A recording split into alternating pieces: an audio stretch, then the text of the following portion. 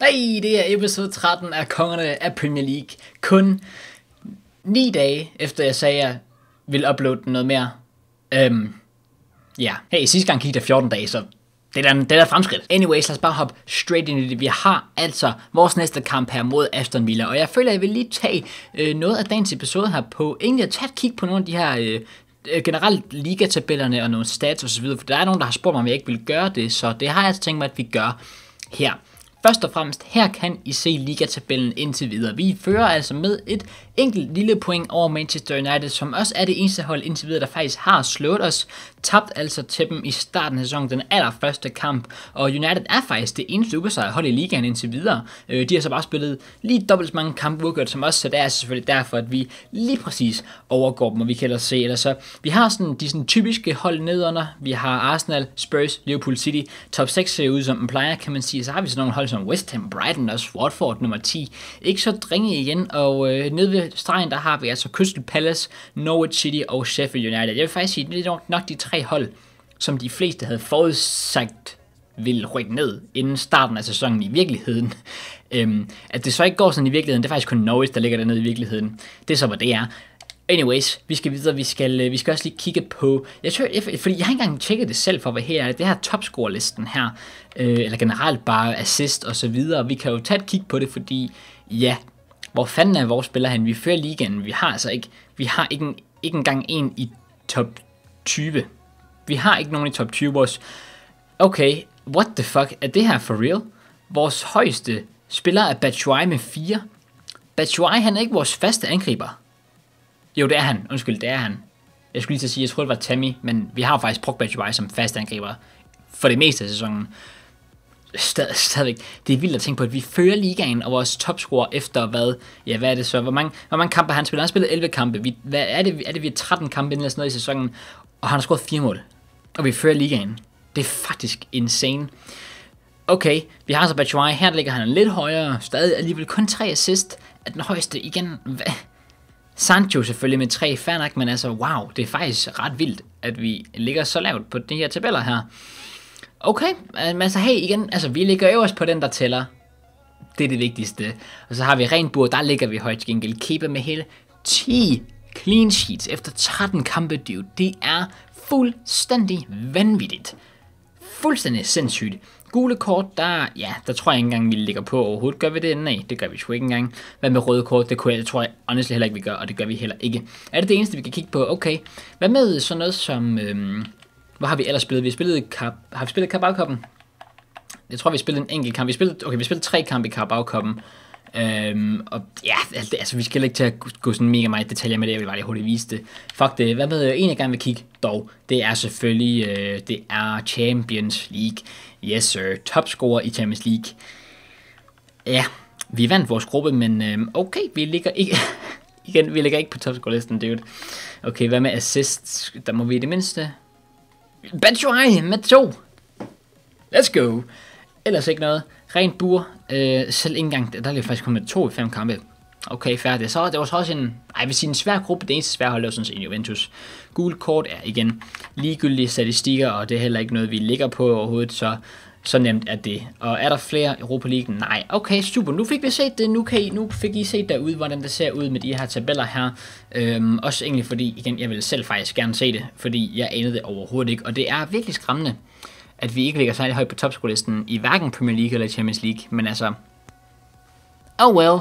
Udover det, vi skal selvfølgelig bare direkte ind i den næste kamp her, som er på hjemmebane mod Aston Villa. Og vores holdopstilling, den kan vi se her. Den er meget anderledes, fordi vi har sindssygt mange spillere, der tager det. Prøv lige at se det her.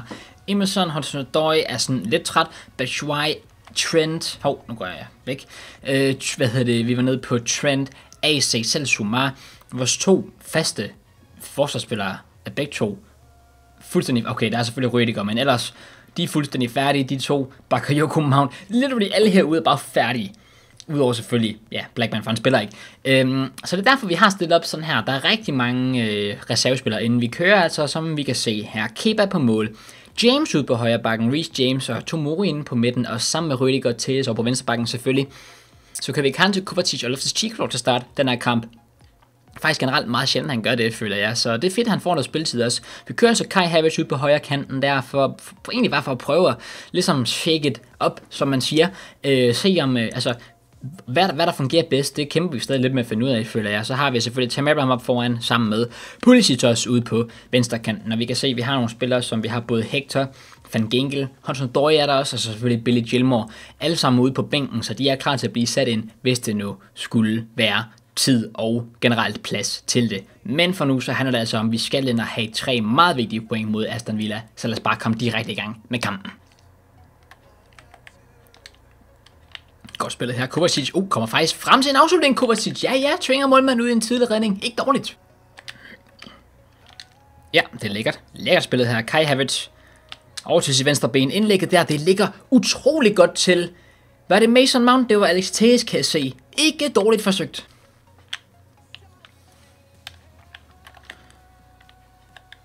Og ja, okay, den når han simpelthen, den der El Ghazi. Den bliver bare høvlet op til ham, mand. Oh, det var en farlig indlæg. Det var et meget farligt indlæg. Jeg troede, Kante fuldstændig styr dem. Jeg har så lige glemt, at øh, Kante var sådan 61. Så han kunne nå op til den der. Okay, Aston Villa viser tænder. Loftus Cheek her finder Kante. Kovacic. Lad os prøve den igen. Kovacic med sin anden afslutning i kampen. Det lignede lige et kort øjeblik. Den gik igen, den der. Oh, Kante. Oh, come on. Ja, vinder den. Vigtigt, vigtigt. Rigtigt tidspunkt. Spilleren til Tammy Abraham. Og vi kommer igennem forsvarsspilleren og sparker lige på keeperen, og der bliver fløjt af til halvleg. Det så jeg, nej, jeg skal, jeg skal så meget arbejde på de afslutninger der. Det er simpelthen for ringe, at den ikke bliver sparket ind derfra. Jeg tænkte egentlig, jeg så han kom ned i en glidende, håbede faktisk lidt på, at Tim Abraham egentlig bare sådan, ja, I ved, lige vil blive snittet, altså og så lade sig falde.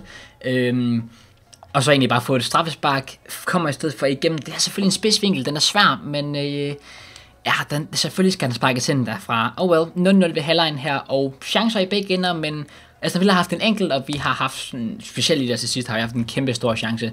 Den skal vi have mere ud af, men... Sådan er det. Halvleg her 0-0, og spørgsmålet er, jeg ved ikke, hvem, hvem, ikke engang rigtig, hvem man skulle sætte ind, der vil kunne ændre på det her lige umiddelbart. Øh, jeg føler, det er det stærkeste hold, vi kan stille med det her. Øhm, også bare fordi sådan nogen som Batshuayi, han er fuldstændig færdig. Jeg føler, jeg føler ikke engang, at jeg kan skifte ham ind, faktisk. Van Ginkel er den måske den oplagte i stedet for Kovacic, men så vil jeg måske vente med lige lidt senere i kampen at gøre det. Og vi ser ham ud til venstre. Ja tak. Sikke en boldkante. What the hell? Han får den igen. Her Kante over til højre benet. Bliver taklet lige i afslutningsøjeblikket. Kører videre på den her. Tam Abraham. Videre til Loftus Cheek. Kan vi komme først på den der afslutning? Så tæt på. Uh, det er farligt det her. Ah, ja, jeg prøver at se, om jeg kan få fat på ham der. Indlægget kommer i stedet for en suser forbi hele vejen. Indlægget igen der. Det er farligt spillet, det her Aston Villa. Kommer på 1-0. Hvad skete der der? Hvordan fanden spillede... Aston Villa blev lige til Barcelona. Sådan der, mand. What the hell? Vi er bare ikke bagud. Vi er bare ikke bagud til Aston Villa. 1-0 på hjemmebane. Og vi har også bare spillet ud de sidste to kampe 0-0. Skal det virkelig være tre kampe træk uden et mål fra vores side og uden en sejr? Hvad, skal, hvad er det der? Det er Prime Barca. Det er Prime Barca 2009 Pep Guardiola, vi ser der. What? Fair play, det er et godt mål, men øhm, ja, vi skal, vi, skal, vi skal have nogle ændringer nu, og det skal være lige nu, fordi vi skal fandme ikke gå fra kampen her uden, øh, ja, hvis nærmest uden sejr. Åh, oh, ja, okay, der skal ske noget. 4-2-3 en smæld, er det måske vejen? Who knows? Det kan vi finde ud af, i hvert fald om ikke andet, vi skal. I hvert fald mm, hvad gør vi? Hvad gør man her? Man smider vel en, øh, en Hosnodori ind her. Kører man Havertz her, det gør man nok igennem midten. Batshuayi op foran, og så en Van Ginkel ned i stedet for Loftus Cheek. Det er virkelig det eneste, jeg har at skyde med lige nu. Hudson Odoi her. Ej, den skulle have været til Batshuayi. Han var ellers i et perfekt løb. Kommer alligevel igennem her. Lægger den af. Hudson Odoi skulle det have været til. Pulisic får den i stedet for Pulisic. Kæmpe chance her, men Tom Heaton igen med en god hånd. Prøver i stedet at spille den kort på hjørnespark efterfølgende til Kante. Videre til Hudson Odoi. Ja, lad os bare prøve den Hudson Odoi ud, ud fra. Det er for dårligt.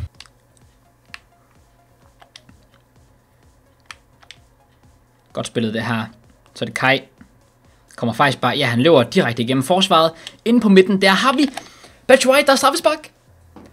Der er straffespark. Tyrone Mings går ned i en forfærdelig glidende. Jeg aner ikke, hvad han tænker på der. For rødt kort simpelthen. meget okay. Rødt kort til Tyrone Mings. Og vi får straffespark her. Kai Havertz skal lige så lægge den ind på tværs til Batshuayi. Bliver bragt ned i straffesparksfeltet. Og hvem er det egentlig, der tager vores straffespark? Det er faktisk Alex Tejes.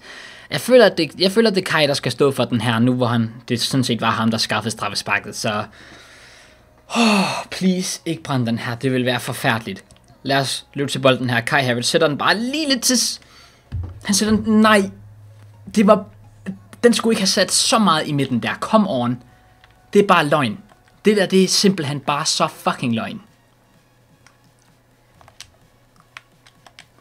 Så skal det sat dernede med være nu. Ja, Batshuayi igennem her. Come on. Please, Batshuayi. Må ikke brænde den her Batshuayi. My man, han rammer stolpen. My man rammer stolpen. Prøver han, prøver han at give mig et hjerteanfald her. Holy shit. Må jeg lige spørge, hvad laver Aston Villa her? Jeg ved godt, de har fået rødt kort, men det er der, de skal sætte alle mand tilbage. Hvordan fanden kan jeg stikke den i dybden til Batshuayi, så han er en mod en mod keeperen der. Og my han rammer, og han rammer stolpen. Oh, men vi gør det altså, boys. Jeg ved godt, man burde ikke, jeg burde ikke juble en 1-1 mod Altså, Aston Villa på hjemmebane, men altså, hey, det er ikke et nederlag, og vi fik i det mindste scoret et mål for første gang i tre kampe nu her. Og ja, der bliver vi bare fløjtet af direkte lige bagefter. Det tænker jeg da i hvert fald, det gør der der 1-1 her. Sikke en sinds direkte vanvittig afslutning på kampen her. Aldrig nogensinde jeg havde forestillet mig, at det var sådan her, det skulle ske mod Aston Villa på hjemmebane.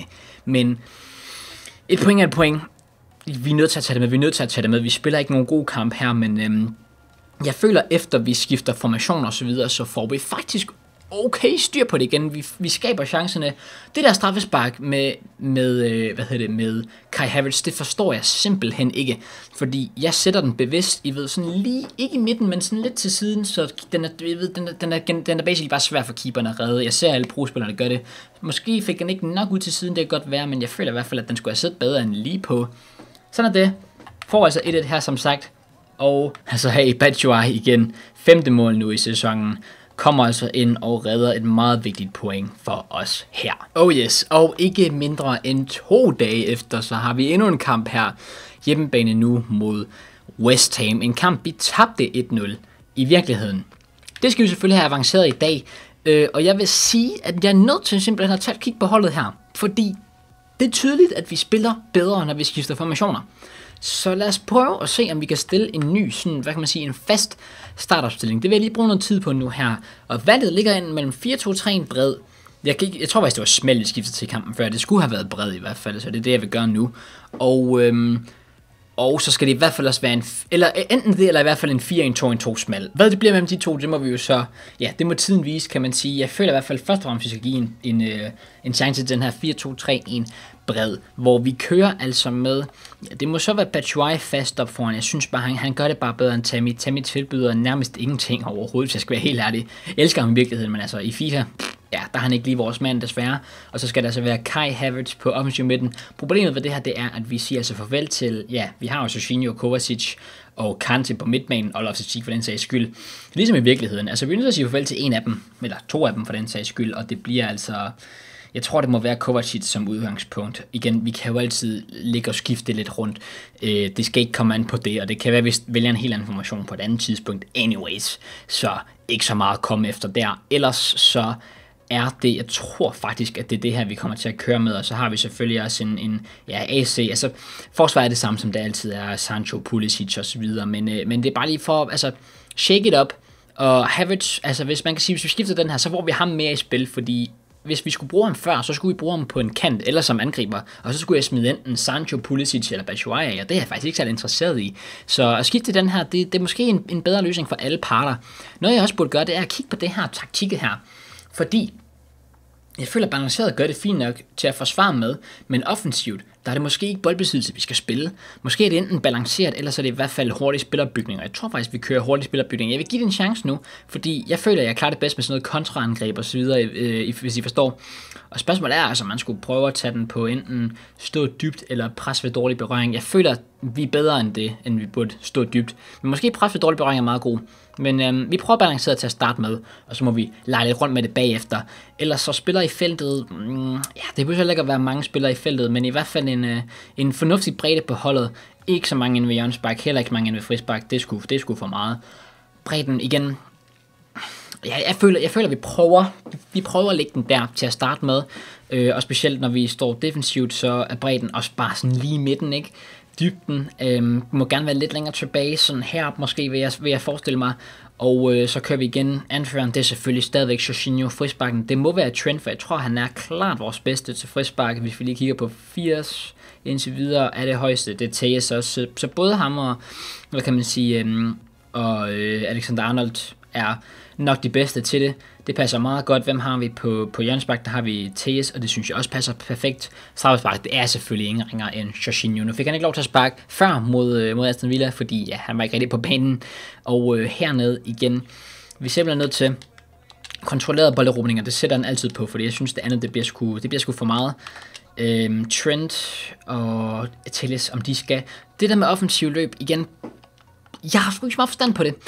Øhm, men jeg føler, at balanceret, altså det, det er måske nok den bedste at stille på, når du ikke rigtig har nogen idé om, hvad fanden øh, der er bedst at sætte det på. Her, der skal vi selvfølgelig også igen, vi skal have den på kontrolleret. Og vi skal også gerne have, jeg synes også gerne, at sådan en som Kante må gerne blive tilbage. Øhm, og som ikke andet, ja lad os bare balanceret igen, og må gerne dække, øh, han skulle gerne dække det hele Kante, det gør han alligevel, han er fuldstændig sindssyg. Her, igen, jeg sidder og kigger på det her, og jeg tænker, hvad fanden skal jeg stille det på, altså. Øh, jeg har absolut ingen idé, så jeg tror sgu egentlig bare, jeg tror ikke rigtig, vi behøver at pille ved det overhovedet. Hvad med sådan en som Kai? Mm. Nej, jeg føler også igen det her, hvorfor ikke bare lade det stå på det, det står som Batshuayi. Igen. Mm. Han må faktisk gerne være en boksspiller. Ja, øhm, fordi det føler jeg, Batshuayi er rigtig god til. Det der med, fordi han er så stor fysisk, god afslutter og så videre. Føler, passer meget godt til ham at være boksspiller. Men udover det, ja, så tror jeg sgu bare, det er sådan, vi holder det. Vores opstilling, den har vi altså her. Igen har jeg været nødt til at bytte rigtig meget rundt, fordi igen, vi har literally bare haft tre kampe på 6 dage. Fuldstændig latterligt, at sådan noget kan finde sted først og fremmest, men ja, det bruger mig altid over, føler jeg. Så derfor har vi altså virkelig været nødt til at mixe det lidt op her. Vi kører selvfølgelig den nye holdopstilling 4-2-3-1 bred. Kører keeper på kassen. Trent, AC, Sumane i forsvaret nu her, så har vi Emerson ude på venstrebacken igen for at give en pause til Alex Tejas. Vi kører Sancho højre kanten, og så nu Dori får til at starte den her kamp her for første gang i, jeg aner ikke hvor lang tid faktisk. Ude på venstre kanten, der skal nok blive rigtig, rigtig spændende, fordi Pulisic han var sindssygt træt. Så kører vi Jorginho og Bakayoko den her gang, fordi igen Kanse var også rimelig træt, og han er nok vores en af vores vigtigste spillere, så derfor føler jeg, at det er vigtigt, at vi sparer ham i sådan nogle kampe her, hvor jeg føler, at Bakayoko sagtens kan, kan styre showet. Så kører vi altså Mason Mount offensive midt og Batshuayi op foran. Så ja, lad os bare komme direkte i gang med kampen. Mason Mount her kommer igennem forsvaret. Det gør han faktisk over til højre benet der. Mason Mount Nej, Mason Mount, der skal scores der for helvede. Vores problemer med at skrue mål fortsætter bare her, så den kan jo ikke ligge bedre til ham. Og så misser han målet for helvede. Fint spillet her. Jadon Sancho i dybden. Ja, det er perfekt spillet, Jadon Sancho. Han kan godt afslutte med venstre skøjten der. Oh my god, en redning af West Ham's keeper der. Jeg overvejede faktisk, måske burde jeg spille på tværs til Mason Mount igen. Jeg så, han kom i et ret godt løb. Men altså, hvad fanden er det for en redning også lige pludselig, han vælger at diske op med deres keeper West Ham. Fuldstændig sindssygt. Ah, godt spillet. Try. Frem til en Mason Mount. Igen Mount. Igen til højre benet. Og igen en fuldstændig forfærdelig afslutning. Indlægget her. Det er sgu ikke dumt alligevel. Oh, Jorginho falder den ned til Jorginho. God afslutning derude fra Fabianski med redningen, og det bliver nok også sidste chance for os her på hjørnsparket. Mason Mount indlægget der får vi ikke særlig meget ud af. Kan vi nå få en afslutning af sted måske? Bakayoko, ingen ringer, om mine damer og herrer, og vi er tæt på igen. Oh my fucking god, hvornår lærer vi at score mål? Det er simpelthen for sindssygt. Vi skaber chance på chance på chance på chance. Vi skaber fucking straffespark sidste kamp, og selv det kan vi ikke engang score på. Det er direkte latterligt, at vi ikke er foran i den her kamp her. Altså, det er simpelthen for langt ude. Vi skal lave en udskiftning her. Mason Mount. Ja, han er meget træt, men hold kæft en elendig kamp. Altså, det, er, det, er, det er ikke godt nok. Det er godt nok. Van Gengel rører ind i stedet for. Lad os give ham chancen. Og ja, det må være det til at starte med.